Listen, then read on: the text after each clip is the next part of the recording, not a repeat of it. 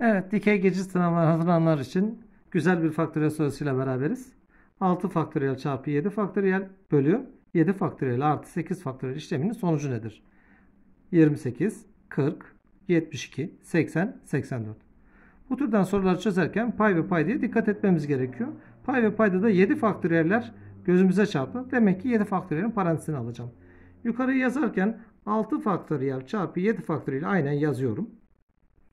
Aşağıda 7 faktöriyel aynen yazdım. Bir parantez açıyorum. Açmadan önce 8 faktöriyeli yazayım. 8 çarpı 7 faktöriyel şeklinde yazabilirim. Bu durumda 7 faktöriyellerim ortak oldu.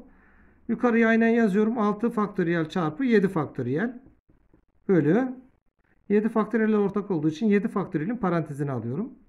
Burada gizli bir 1 kaldı. Artı burada 8 kaldı.